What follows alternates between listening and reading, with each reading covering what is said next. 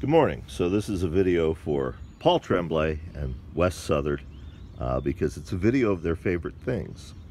So it's about five in the morning and I came out for my usual cup of coffee and sit dockside at the river and watch the sunrise. But this morning, the mayflies are here. You can see them there flying around. I'm gonna walk right into the swarm.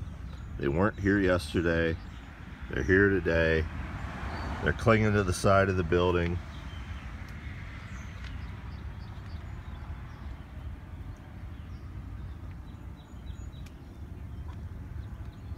And they are on everything.